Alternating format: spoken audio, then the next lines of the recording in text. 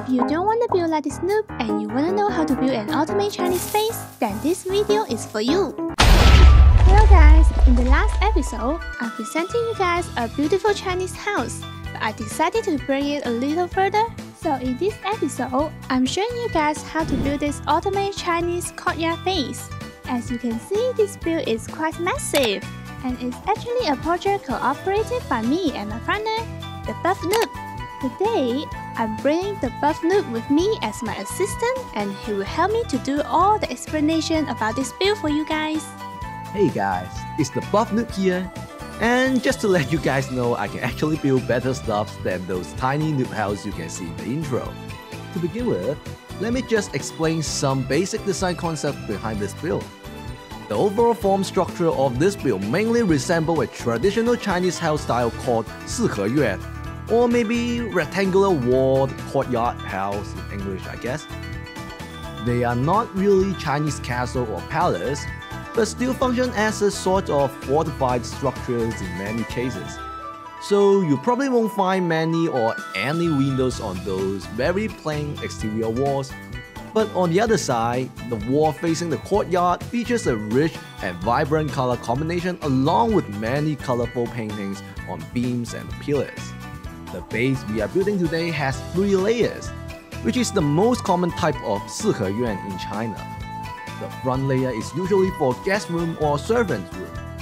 The middle layer is the main courtyard and the main building right behind the courtyard.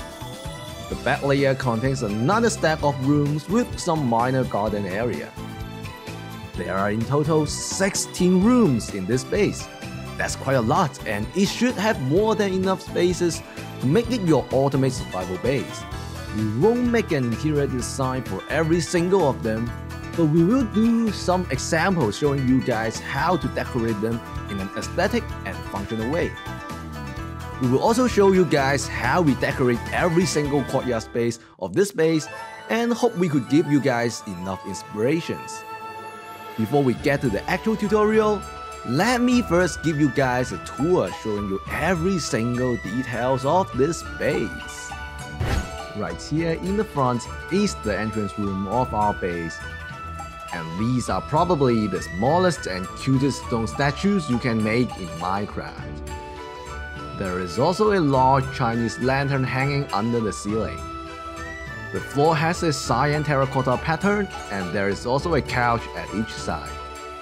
After passing the entrance, the first thing we can see is this stone crafting decoration on the wall, as well as two fountains on the left and right side.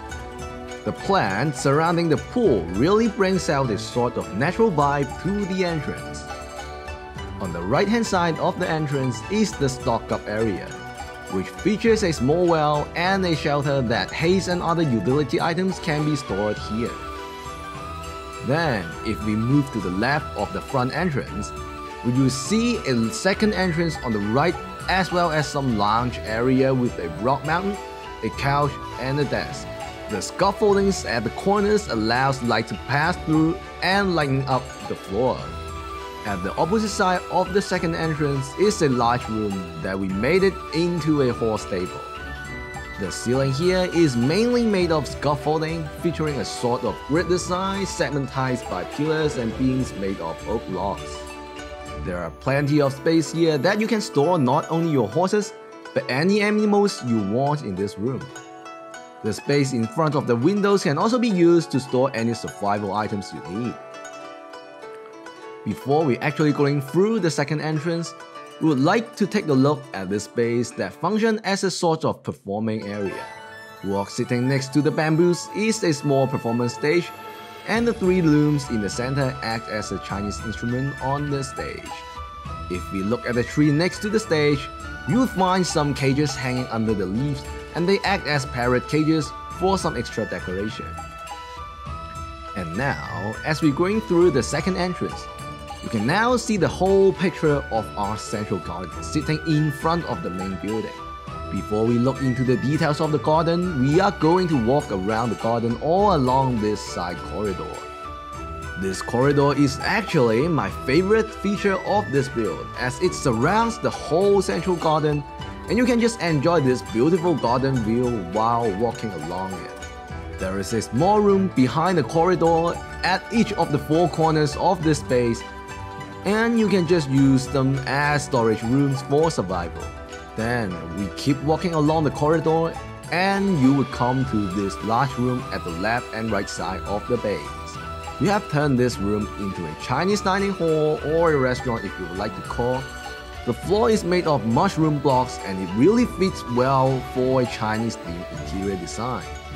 The ceiling is another grid design made of green terracotta and sandstone walls. They are also segmentized by stripped acacia logs. The walls are mainly decorated with paintings and there is also a fish pool in the middle of the room and decorated with bamboos and stone craftings at the back. The other side of this room is a waiting or reception area and a kitchen at the back separated by a wall. The kitchen is not only made for decoration purpose, but also features plenty of furnaces and smokers for your survival smelting room. Next, we are going back to the central garden, which is divided into four sections by a cross path with a hot pot area in the middle and some Chinese lampposts at the sides. The first section of the garden is a large pond with some plants surrounding it and a rock mountain in the middle. And this is a very typical pond design for Chinese gardens. The next section here is a multifunctional region, which features a small playground, a small pond, an outdoor dining area, and a sakura tree at the back. Then, for this region, you can find another small pond at the back connected by a stone path, and next to the path is a flower trough and a planting or farming area. The last region here mainly features a large wishing tree, which you can find some wishing plates hanging on it. Next to the tree are some shelters, providing some seats as well as a chess table with a note block and a table to write your wishing plates. Right now, we will take a look at the main building of the base. The first thing you would notice is a large screen in the middle with a Chinese painting on it. And this is a very typical layout for traditional Chinese houses. The cupboard divides the right side of this floor into a study area, and the left side is a staircase to the second floor and I have tried my best to make this staircase look as nice as possible while resembling to the traditional one. The upper floor is mainly the bedroom which features a Chinese style bed with a small screen hiding it. You can also find a bathtub and another study desk in this room. And guys, please remember that the tutorial for this main building is in our previous video and don't forget to check them out. For the last part of our tour, we are going to the back of the main building and this is the back layer of our base. The space here are mainly decorated with plants and leaves with some glowstones hiding underneath for illumination. We had also made an interior design for this small room into a functional room. The nether portal in the center is ToxicKailey's idea and I really love how it looks with the Chinese gateway design in a compact size. The right side of this room is an enchanting area with some bookshelf designs, while the left side is a brewing area with pistons as tables again. The layout of this room is rather symmetrical but not totally identical. And the barrels hiding underneath the table gives you some extra storages without making this room look too cramped. There are two more garden areas in the back layer of the base the one on the right is another pond with a rock mountain and some plants. But this time, we added some vines on the wall to make it look livelier. The other space on the left is made into a chilling area with another rock mountain, a tree in a pond, and it's sun umbrella table but in a folding state. And this is everything I'm showing you for this tour. And now let's take a look at the material list and get to the tutorial. Please note that the material here is for reference and the amount you need might be slightly different.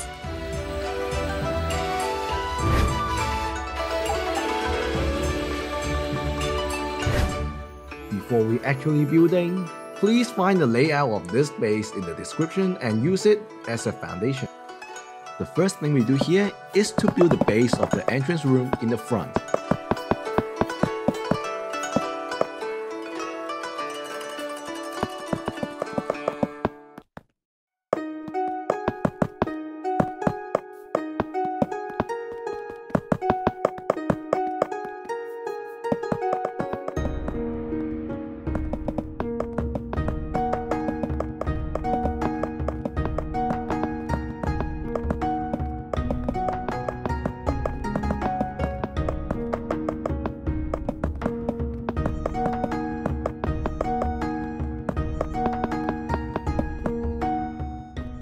Here we are building the two walls on the left and right side.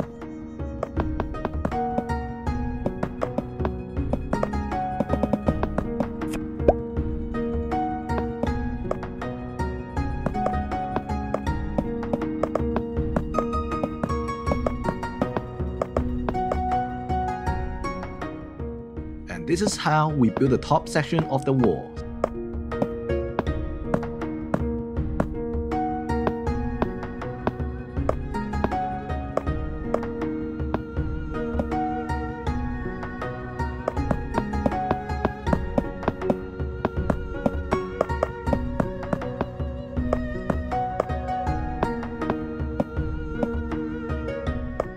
Then, on the inner side of this wall, we are building the first two layers of the roof.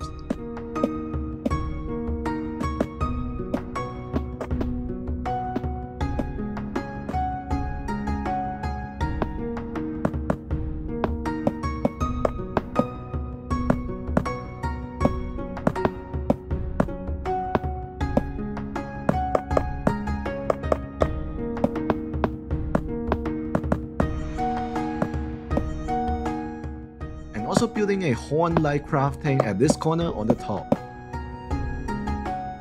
Then we just mirrored everything to the other side and filling up the roofs like what we just did. And the next part is to build the front of the entrance.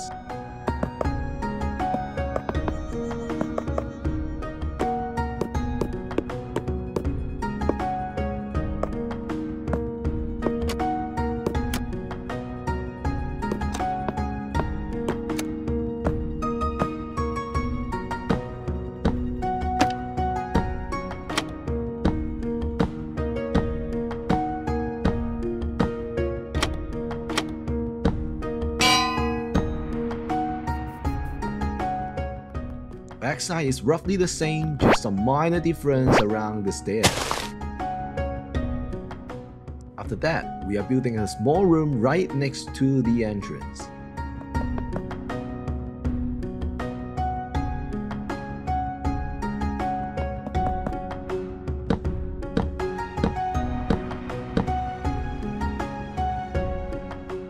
The top section of this wall is very similar to the one on the entrance.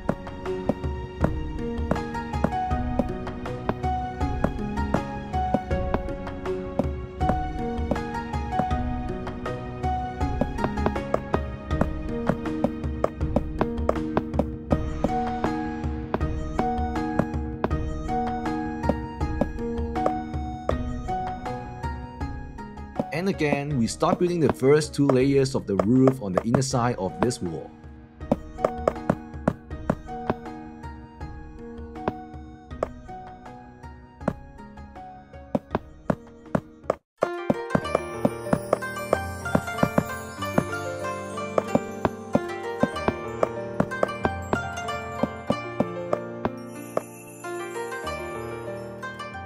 And we filling the whole roof in the same way, as well as adding some minor details at the corner. And this is how we build the wall on the entrance side of this room.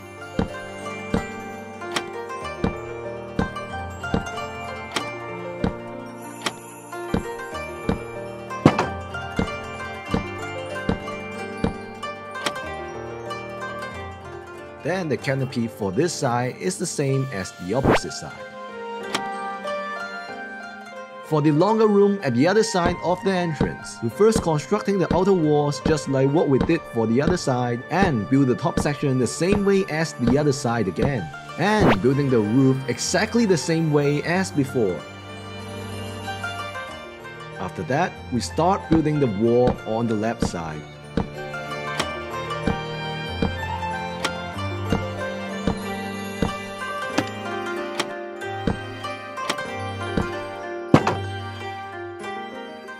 Then we build a wall on the right side.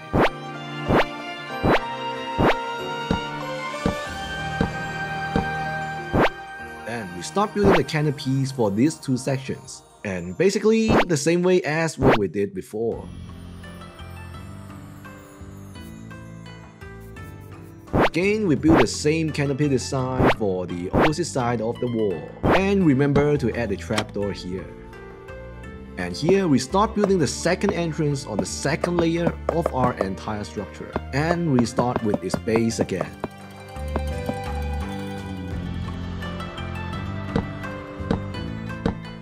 Then we build a wall on the level right side with the empty section in the middle as well as a double arch design on the top.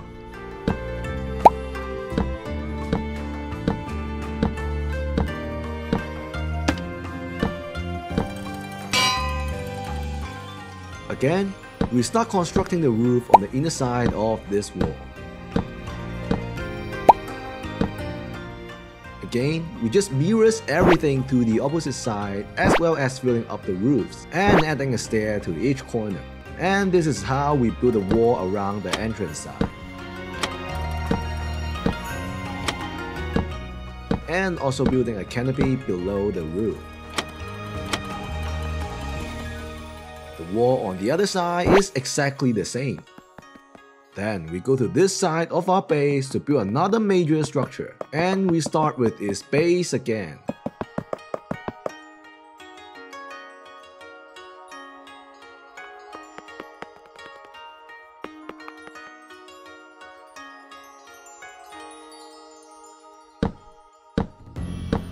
Following up, we start constructing its exterior walls and leaving an arch on each of the lateral sides.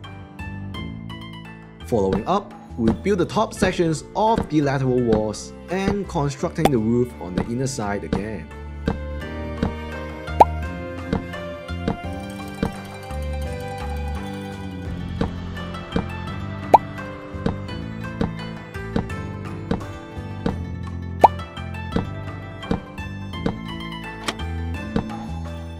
Again, you just mirrors everything to the opposite side and filling up the roofs in the same way again. Also adding a crafting at the top of each corner.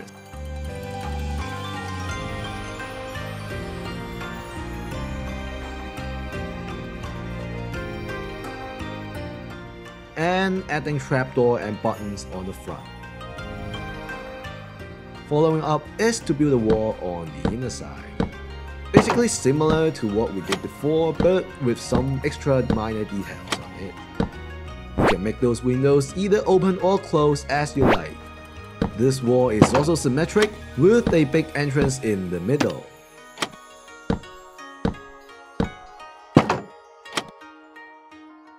Right now, we start building some supporting pillars for the outer part of the roof and some terracottas and fences for decoration.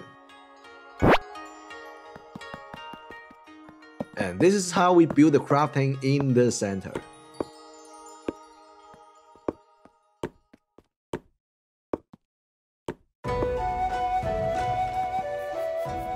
The next thing to do is to build the canopy outside the pillars.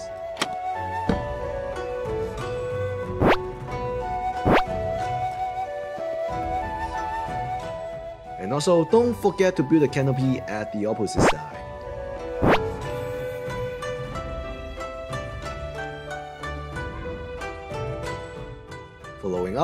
We will build two smaller rooms on the left and right side of the structure we just built.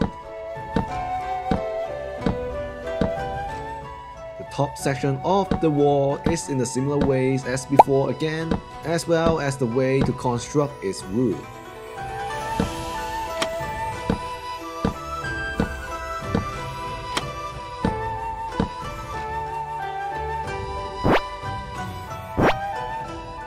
This is the smallest room in our entire structure, so it has less details on its walls.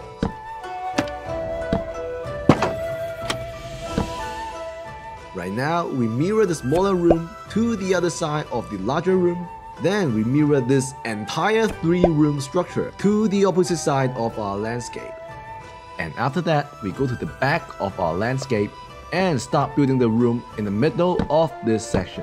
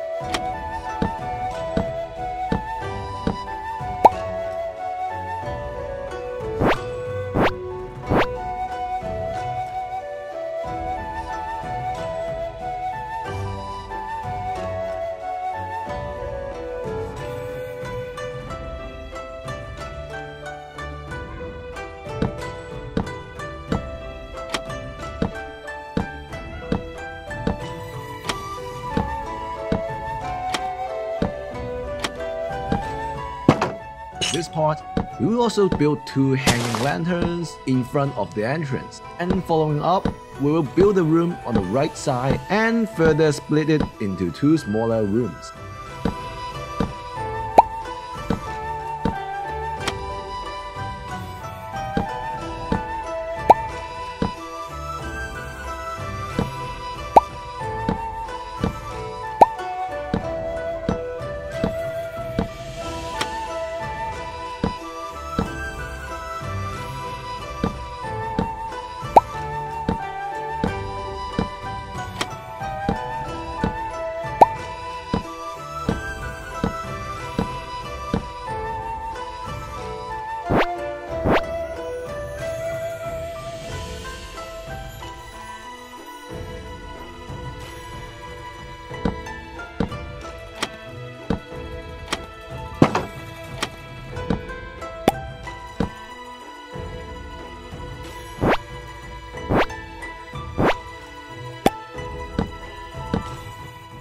Right now, we just mirrors the whole thing to the left side to finish this back section.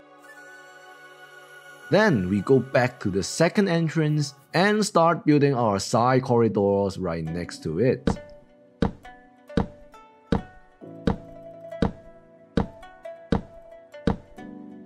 And we will open up two windows and a doorway for this side of the wall. And for this side, we will also open up a window as well as adding two paintings next to it. The next part is adding fences and terracottas for our corridors. And this is how we build the roof of our corridor.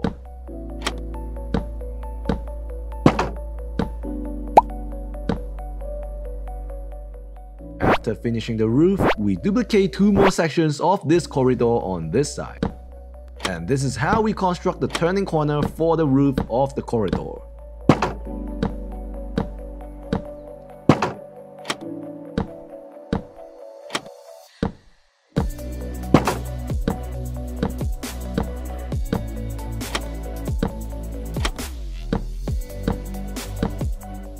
For this side, we will duplicate the corridor sections 5 times, with filling one block of empty space at the end. After that, we will finally build the main building in the center. Please find the tutorial of this build in our previous video. Following up, we will build the side corridor connecting to the main building. We start with the wall on this side.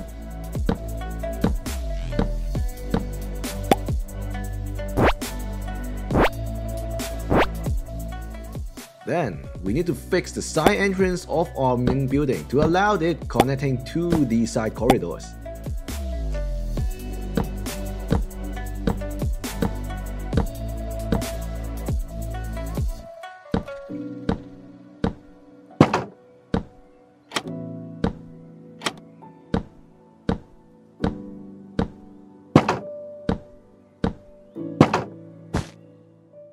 The corridor right here has fences for both sides and with no walls. Again, the roof of this corridor is the same as before, and we just mirrors the whole corridor to the opposite side. And finally, we start filling some walls at the back of our landscape. Please be careful with the direction of stairs we place here. And for the opposite side, we will just add the stairs in the same way. Next wall we are building here is actually very similar, just leaving an extra archway and a window space on it. Again, the other side of this wall is basically the same, and we will just mirror these two walls to the opposite side. Then we go to the front of our landscape to filling up some more walls. We start with the outermost wall.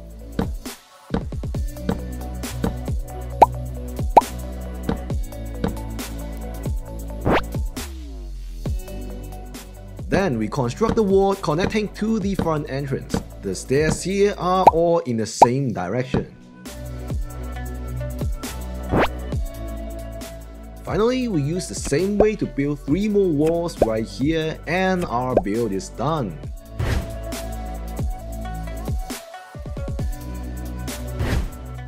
Now, we move on to the interior design. The first thing we do is to build an arch ceiling for the front entrance.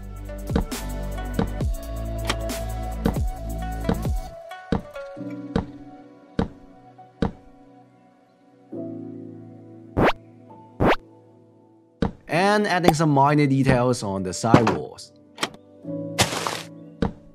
In the center of the ceiling, we build a large hanging Chinese lantern.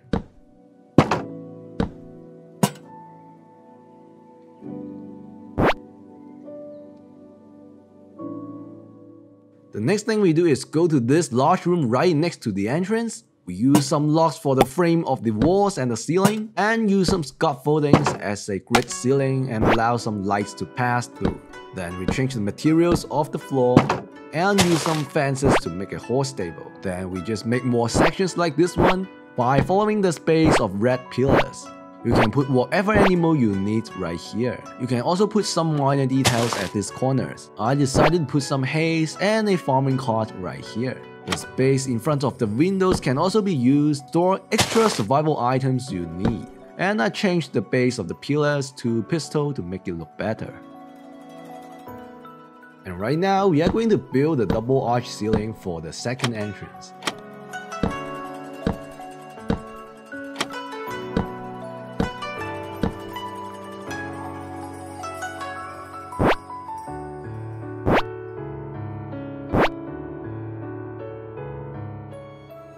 Also add some plants at the four corners.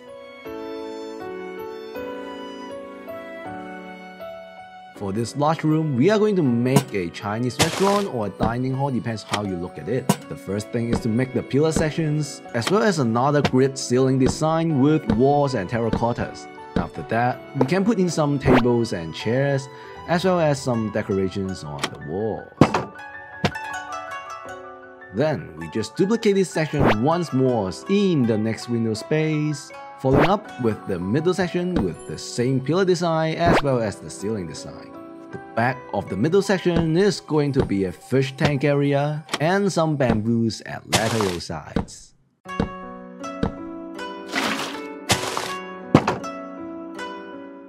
The next section is going to be a waiting area with some couches and a table in it after this section, we are building a wall right next to it, which divides the remaining area into a kitchen. The ceiling is again in the same design, but the floor is in another texture.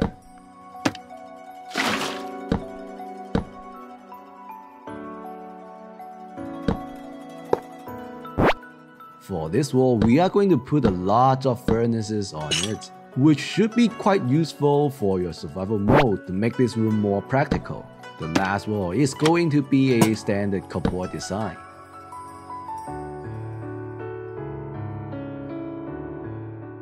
And finally, we go to this small room in the back.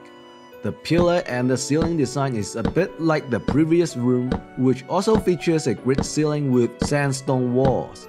For the section on the right, we are going to make it into an enchanting area. The placement of bookshelves here will be able to give you max level enchantment.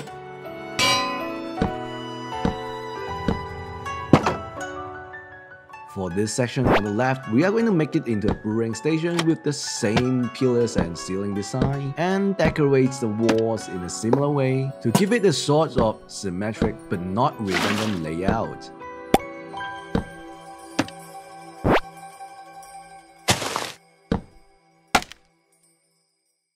Finally, for this middle section, the ceiling is going to be the same and we are going to put another portal with a little Chinese archway design on it. Finally, we will just fix some minor details behind the door and our interior design is done.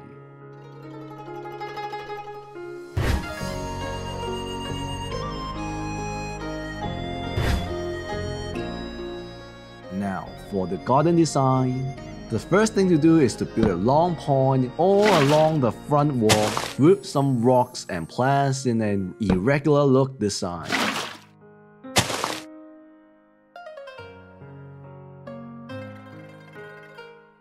Then, right behind the entrance, we can build a stone painting on the wall and two fountains on both of the lateral sides as well as a small pond and some plants to decorate this area. The next space here is going to be a stock up area, which features a small well and a shelter to store some hay. And also we can texturize the floor like this. The area right here can be decorated with some plants and leaves. Don't forget to hide some glowstones underneath then for the space next to the second entrance, we can first build a small rock mountain and some bamboos next to it. Also, we can add a couch and a table to make it a lounge area. The other spaces can be decorated with plants and leaves again, then mirror everything to the other side with some small variations. For the next space, it's first going to be a bamboo area, then a performance area, by using three looms as an Chinese instrument called guzheng. The space in front of the room can be decorated with plants and leaves again, as well as adding a small table and two small chairs. The last space here can be made into a tree with some scaffoldings and trapdoors as parrot cages.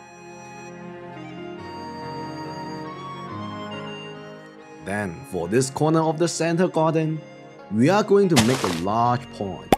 We texturize it with a variety of blocks and slab and adding more plants surrounding it, and finally another rock mountain in the center. The next space here is going to be composed by multiple ponds. The first part here is going to be a playground and another smaller pond right next to it. In front of the pond is going to be an outdoor cooking area, as well as a dining table right under a sun umbrella.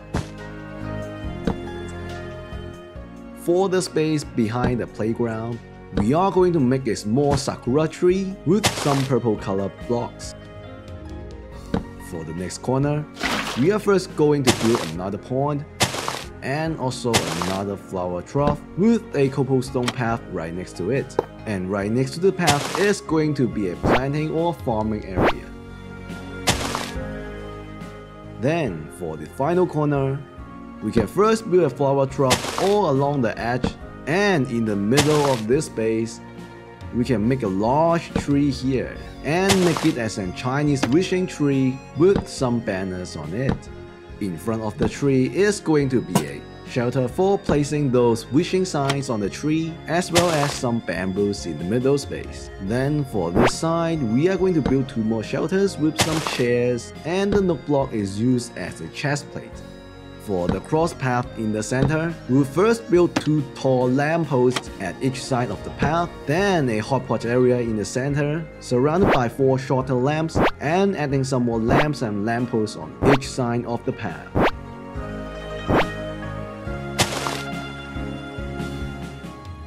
Following up, we move to the backside. For this space, we would build another pond with a rock mountain in the back, but this time also adding some vines on the walls. The other spaces can be decorated by plants and leaves just like before.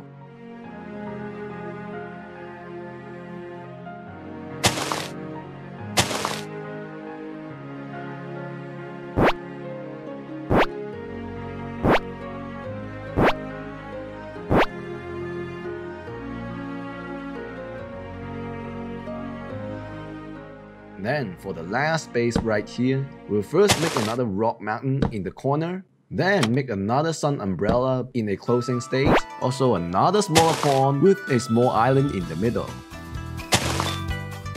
And finally, we can make another tree in the island and our garden is completed.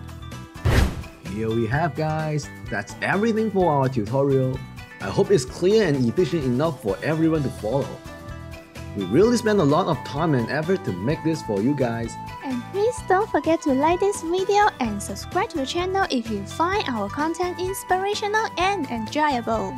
And one more thing, if anyone actually built this in their server or even in survival world, please do let us know in the comment section.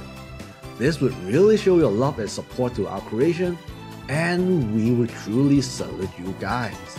I'm going to try more new building styles and please let me know what you guys want to see. And if it is too large then I probably need the buff noobs assistant again. And yeah, I'll probably keep making those noob houses in every intro. I think that's it for this video and peace out!